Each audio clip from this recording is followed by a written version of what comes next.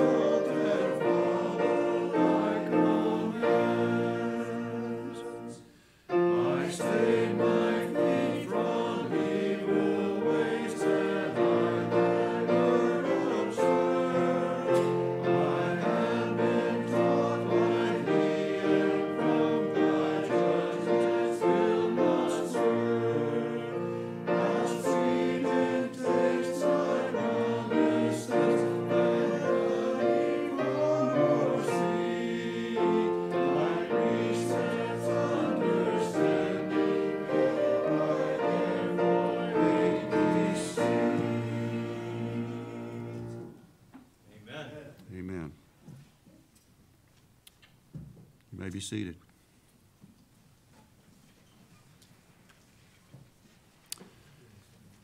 Let us bow together for prayer.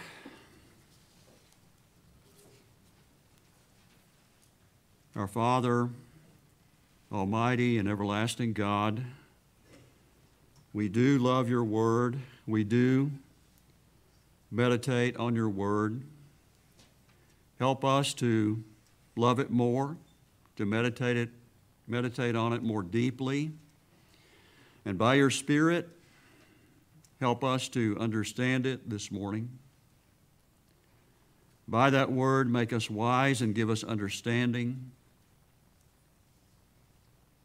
Continue to use it to keep us from sin.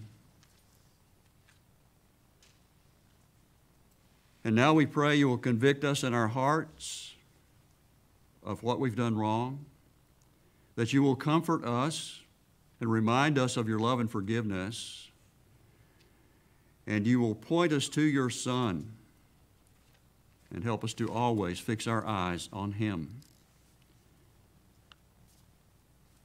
We ask these things in the name of your Son, Jesus Christ our Lord. Amen. Life is difficult, but it's more comfortable when we have peace. In this world, there are all kinds of reasons for us not to have peace. But when we do, and in the areas of our lives in which we have peace, life is so much better peace between husband and wife, peace between parent and child, peace between teacher and student, friend and friend, most importantly, peace with God. Jesus speaks about peace here in this passage of Scripture. And in this section, the Holy Spirit has directed Luke to tell us about the journey of Jesus to Jerusalem. He's headed there. He is traveling toward Jerusalem for the last week of his life, and for that, that appointment he has to go to the cross and die that shameful and painful and cursed death to save his people from their sins. And as he goes, as he travels, he's traveling with his apostles, he is teaching his apostles, he is teaching the crowds along the way, he's meeting various people, he's talking about various subjects, but he is preparing his disciples for his departure. He is telling them that they are going to suffer he is telling them that he, uh, he is going to suffer, and they don't understand that yet. He's already broken the news to them. He has said, I will be put to death, and I will rise again. But it hasn't really dawned on them yet. They're trying to understand it. He's trying to help them. And there are others whom he instructs in the crowds along the way.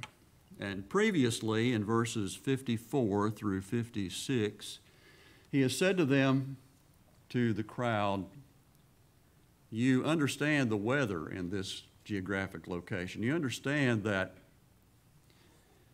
if clouds arise in the west, that you're going to have showers. You understand that if wind blows from the south, it's going to get warmer. Well, in fact, that's the same with us, isn't it? Usually, the westward, westward winds from the west, I should say, bring us rain. Usually, the Gulf winds bring us more warmth. And then he says, You discern that, but you don't discern this time. You don't discern, you don't understand that the time has come for the kingdom of God to come on this earth in a new stage with my coming. You don't understand, you don't discern this time that the Messiah has come and that I am He. There were things that they did not discern. And He was giving them a final warning. And in 40 years or so, Jerusalem would fall because most people did not believe Him.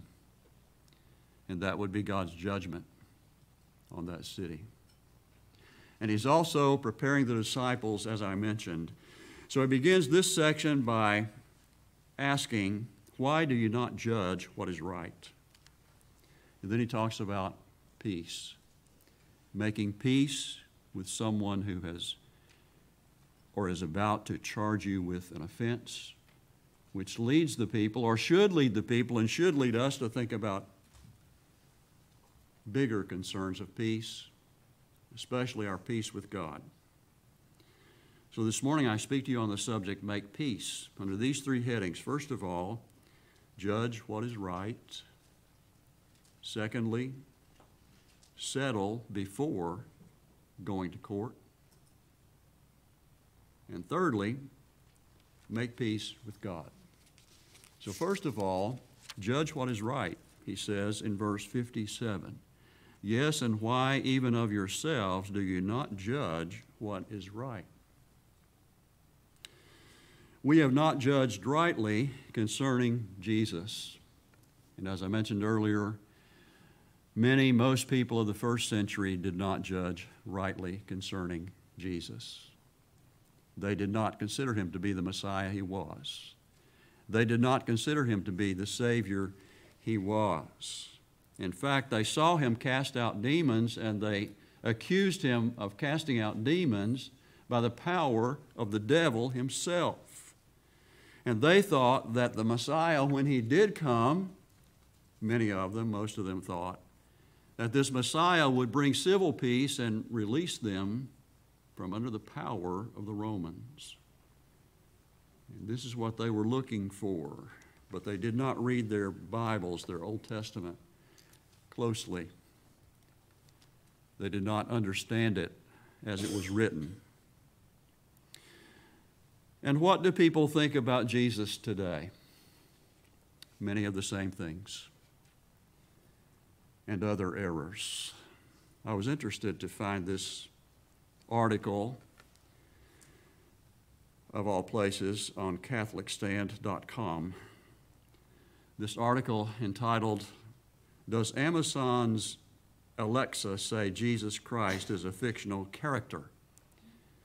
by Gene Van Son, December 2nd, 2017. According to a video posted November 24th, 2017 by Steve Crowder's YouTube channel, Louder with Crowder. Crowder asked Alexa, Who is the prophet Mohammed? Alexa answered, The prophet Muhammad is a very wise prophet. He taught many people how to live, had a wife called Anisha, I'm sorry, Aisha. He lived in Saudi Arabia. The message he gave to the people is pray to Allah. He is the only God, and he gave them holy Koran. End of quote. Then Crowder asked Alexa, Who is the Lord Jesus Christ? And Alexa answered, Jesus Christ is a fictional character. That was in 2017. Now, I don't know what Alexa answers now. I haven't had a conversation with Alexa recently or ever, but that's what she said once. Sometimes we Christians have a distorted understanding of Christ also, at least for periods of time. We judge that Jesus is loving, and he is. But many times we forget what it means to love him. For he says, If you love me, keep my commandments. It's easier to remember his love for us than to practice our love for him, isn't it? We judge Jesus to be gentle, meek, and mild, and he is. And we're thankful that he said, Come to me, all you who labor and are heavy laden, and I will give you rest. It's a precious teaching of Jesus to us, and it's real. But do we remember the Jesus that went through the temple with a whip? Do we remember the Jesus that cast out the traders in the temple who were taking advantage of the people making sacrifices? Do we remember that Jesus? Do we remember the Lamb of God spoken of in Revelation 14, verse 10, which says, of the non believers, of those who worship the beast, quote, He shall be tormented with fire and brimstone in the presence of the holy angels and in the presence of the Lamb. Revelation 14:10. And verse 11 goes on to say, and the smoke of their torment ascends forever and ever, and they have no rest day or night, who worship the beast and his image, and whoever receives the mark of his name. Revelation 14 11. do we take in the whole Jesus? I've heard it said that men have gotten softer in America over the past years. I believe our view of Jesus is that he is softer too. We do need to remember that Jesus is loving and kind. We certainly need to remember that. But he's more than that as well. We have not judged rightly concerning the way to salvation sometimes either. Many people in the first century believed in salvation by works, and they were opponents of Jesus. The scribes and Pharisees thought they were good, they thought they were righteous. They even, not only did they think they obeyed the law of God in the Old Testament, they added to the law of God and thought they obeyed that. And outwardly, they did many good things, no doubt. But they didn't practice the spirit of God's law. They didn't obey God with their hearts. They believed in self salvation. They believed they saved themselves by their good works. But we know that even our best deeds on our best days are tainted with sin. Jesus was trying to tell the people that they were sinners and they needed to repent. The way to salvation is not by works, but by grace through faith. And then God leads us and enables us to do some good works. Furthermore, we have not judged ourselves rightly. In this case of the man being taken to court, he had not judged himself rightly. And we often don't either. It's easy for us to underestimate how wicked we can be. I know this is hard to hear. I don't take delight in saying this. I think we don't often realize how much we deserve God's wrath and punishment. We are rebels at heart. That's the way we're born. And after we're born again, by God's grace, thank Him we still struggle all our lives against these temptations. It's our inclination. Thank God He gives us His Spirit, and the Spirit fights against the flesh. And we thank Him for that. There's a hymn that says, We have not known Thee as we ought, we have not feared Thee as we ought we have not loved thee as we ought. Even after our conversion, we still sin. We're saved sinners, we still sin. And we're to strive toward improvement. Philippians 2 12 and 13 say, Therefore, my beloved, as you have always obey, not only in my presence, but now much more in my absence. Work out your own salvation with fear and trembling, for it is God who works in you both to will and to do of his good pleasure. Philippians 2 12 and 13. The only way to salvation is Jesus. This is what he was teaching in the first century. This is what the Word of God is teaching us now. And we must trust him to save us and to keep us and to sustain us after our conversion with all those temptations and with all those things that would take peace from us, we continue to trust Him. That's the only way. First of all, judge what is right. Secondly, settle before going to court. And this is what Jesus is saying in verses 58 and 59. Settle by admitting you are wrong. And this is what is taught in this case. If someone has a case against you, in verse 58, when you go with your adversary to the magistrate, make every effort along the way to settle with him, lest he drag you to the judge, the judge deliver to the, you to the officer, and the officer throw you into prison. So you're on your way, you've been accused, and you're still open to conversation with your opponent. So it's best that you think about this, and if you're guilty, to go ahead and admit it and settle it before you go to court, and things get a lot worse. In this case, apparently, the person is guilty. And so, he should avoid going to prison, avoid going to court, and settle out of court. And this has a spiritual application. Whoever has sinned has made God his or her enemy.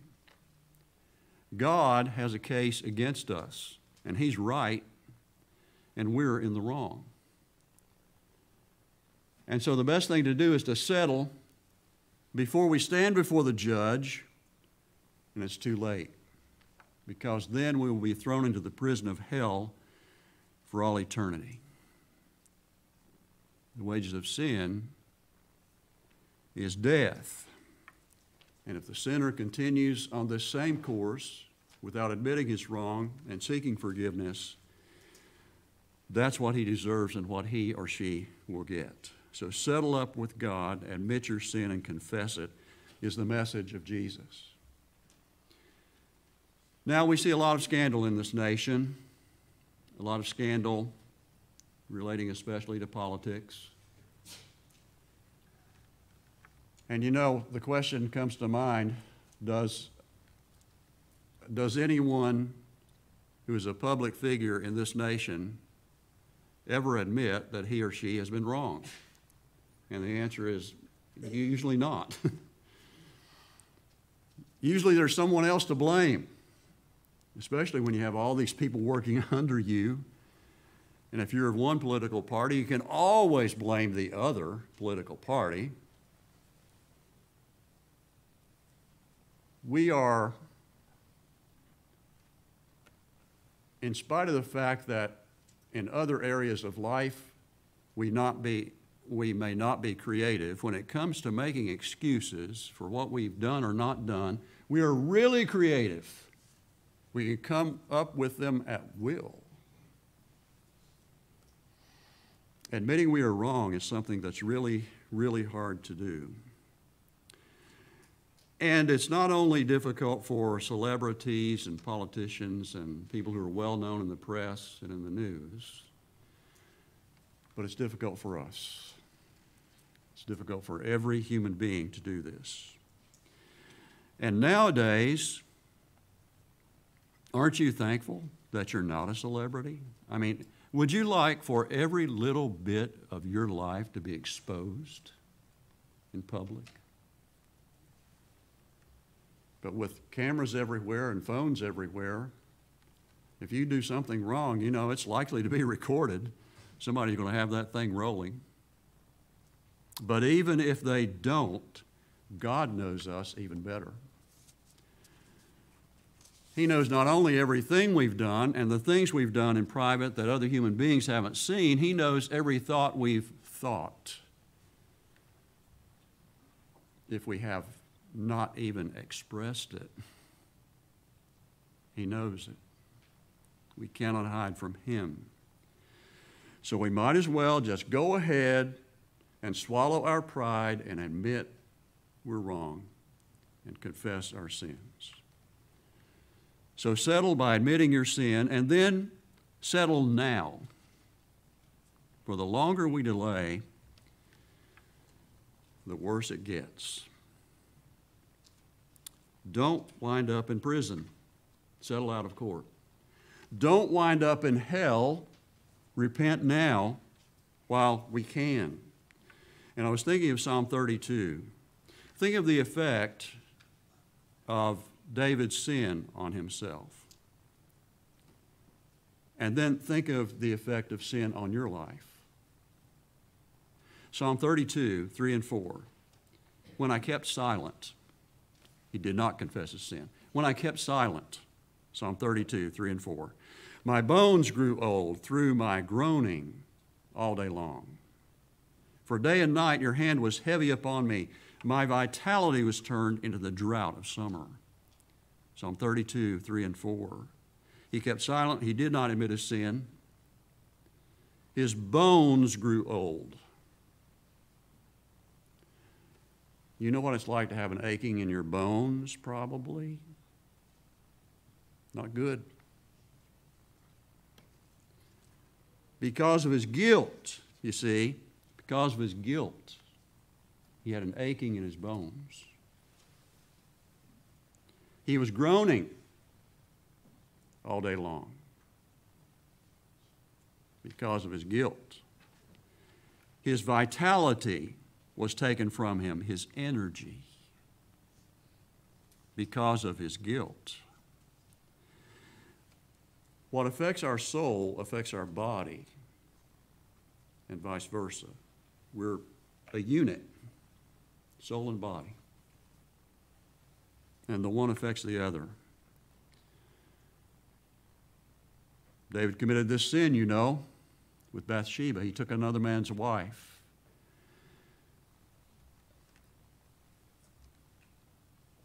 She was impregnated by him. So he had to hide that. And you know what he did? He went so far as to tell his military commander, put her husband on the front lines and withdraw from him, which was done. Her husband was killed. David tried other ways to avoid the publicity, but this man, Uriah, was such a good man.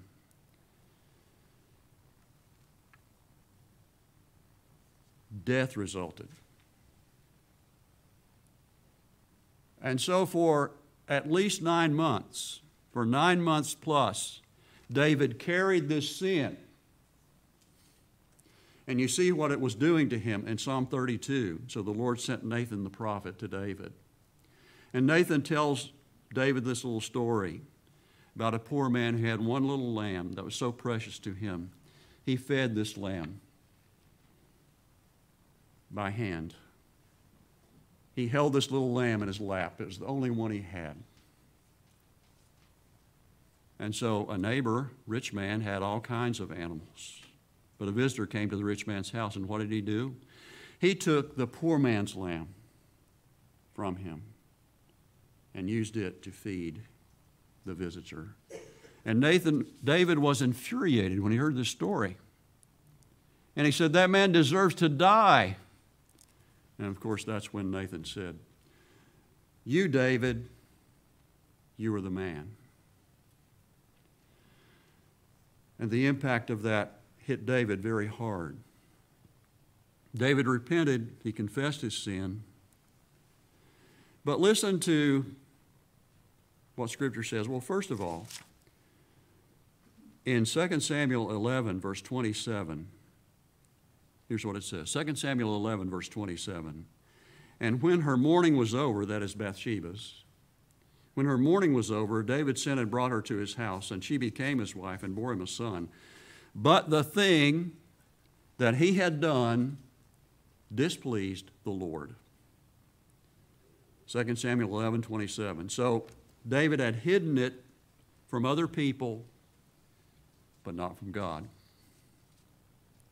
And then after Nathan confronted David, or as he confronted David, we read this in 2 Samuel 12, 7 through 10. Nathan said to David, You are the man.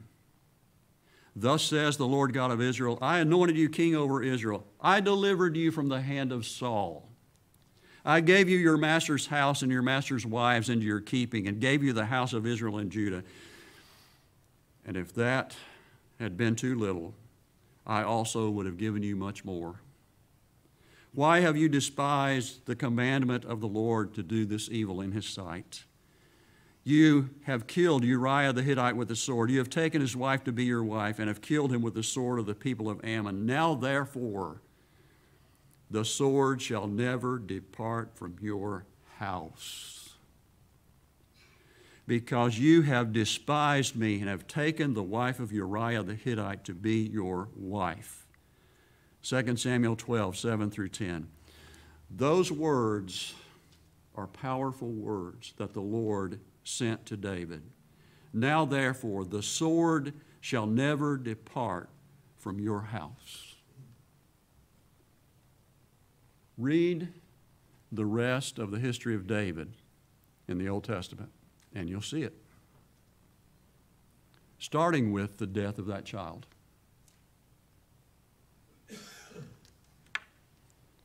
Was David still a child of God? Yes, he was. He was. And God forgave him. But there are consequences. The longer you and I delay to confess our sins, the worse it gets. Repent now is the message. Settle because the consequences are severe. In verse 59, I tell you, you shall not depart from there till you have paid the very last mite, or we would say, till you've paid the very last penny. Scribes and Pharisees and many others should settle their differences with Jesus. Every sinner should settle his or her differences with the Lord because there are severe consequences if we don't.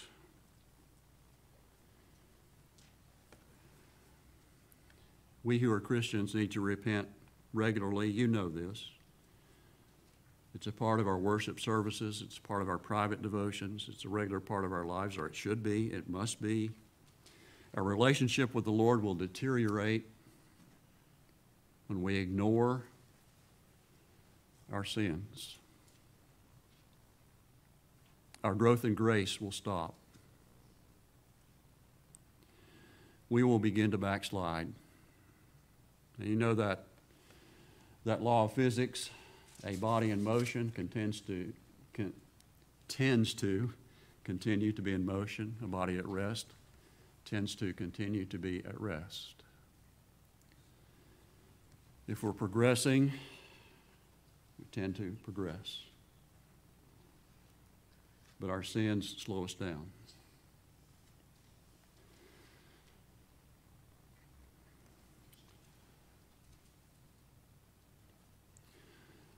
whatever that sin is, whatever those sins are that so easily beset you, target them. Repent of them now. Ask God the Holy Spirit to help you turn from them. They're hurting you, they're hurting others. They're not glorifying God. But He'll forgive you and He'll set us back on the right path. So, secondly, settle before going to court. Thirdly, make peace with God. This is implied in this whole story. Thirdly, make peace with God. God has a case against us. He is the judge, and we are the guilty. We owe Him obedience, we owe Him repentance. We are debtors to God. He holds us accountable. Unless the matter is settled, we will be punished. People who don't make peace with God will be punished. Remember, remember Psalm 2. Kings and rulers take counsel together. They rise up against the Lord and his anointed. They rebel against him. And what does God do? God says, Oh no! Of course not. God laughs. God laughs at someone that would rebel at, against him, like a gnat taking on a bull. Kings, rulers of the earth, the ruler of the largest nation in the world is no threat to God, no problem to God. The biggest sinner, the smallest sinner, is no trouble with God. And so Psalm 2 talks about this. And God says, I have set my king on my holy hill of Zion. In Psalm 2 11 and 12, we, we read, Serve the Lord with fear and rejoice with trembling. Kiss the Son, lest he be angry and you perish in the way when his wrath is kindled but a little. Blessed are all those who put their trust in him. Psalm 2 11 and 12. We're blessed if we put our trust in him. We are cursed if we don't. We cannot fight against the Lord and win. We must make peace with Him or suffer the consequences. If you're a professing believer, you cannot hide your secret sins from Him, and I cannot, and we must repent. The Lord is right, and we are wrong. He's in control, and we are not. If we don't make peace with God, we will be punished. But when we are brought to our senses by the Holy Spirit of God, when we come and confess our sins before Him, when we are in sincere in our repentance, the Lord is gracious to forgive and loving and willing to receive us and to give us the strength to obey. Again, Psalm 32 talks about how David was relieved when he did confess his sin Psalm 32, verse 5 I acknowledged my sin to you, and my iniquity I have not hidden. I said, I will confess my transgressions to the Lord, and the Lord forgave the iniquity of my sin. Psalm 32, verse 5. And then Psalm 32, verses 10 and 11. Many sorrows shall be to the wicked, that is, to the people who do not repent. Many sorrows shall be to the wicked but he who trusts in the Lord, mercy shall surround him. Be glad in the Lord and rejoice, you righteous, and shout for joy, all you upright in heart. Psalm 32, 10 and 11. What a relief when David repented. What a relief when you did. What a relief when I did. And when we continue to repent, God says, I forgive. I forgive. He forgives. When we repent, we have peace with God. How is that possible? That someone who is totally in the wrong totally deserves punishment in hell forever can be forgiven. How is that possible? Human beings, we find it so hard to forgive one another. How is that possible? It is possible only through Jesus. Jesus made peace through the blood of his cross. That's the good news. He died to save his people from their sins. He arose from the grave that we might have forgiveness, a clean slate before God, white as snow our sins washed away as white as snow. Though they be as scarlet, they shall be as white as snow. I could not do that for you. You could not do that for me. 2 Corinthians 5:19 says, "But God was in Christ, reconciling the world to himself, not imputing their trespasses to them." 2 Corinthians 5:19.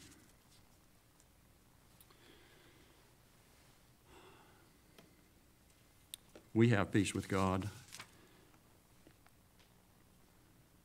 if we are believers, if we truly repent. But there are things along the way that destroy, that mess up that peace temporarily. Something comes our way that we don't like. Something crosses us. This is not the way I want my life to be. I don't want this physical condition. You mean I have to live with this for the rest of my life? So, this is going to be a part of my relationship with my friend or my spouse or my child or my parent. Lord, is this what you're doing to me? Is this in your providence? Where's the peace? We don't feel the peace. We don't sense the peace. But, my friends, we have to make peace with that too. The peace is still there. What's wrong is that we're not accepting it. We're wanting things to be another way. We're frowning at God's providence. Sometimes I frown at it too. And that's not good. Because God knows what He's doing. And He grants us peace with Him through the Lord Jesus Christ. So make peace with God even in the difficult times. Make peace with God by repenting of your sins and putting your trust in Jesus Christ.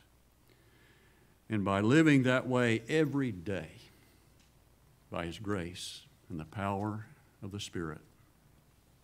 So then, having been justified by faith, we have peace with God through our Lord Jesus Christ. Amen. Let us pray. Almighty God, we thank you that your Son Jesus is the Prince of Peace. We thank you that by your Spirit we find peace in Jesus. Forgive us when that peace is disrupted by our sin, and help us. Lord, help us to accept that peace and continue to live in it, and make us agents of peace for the sake of others. Amen.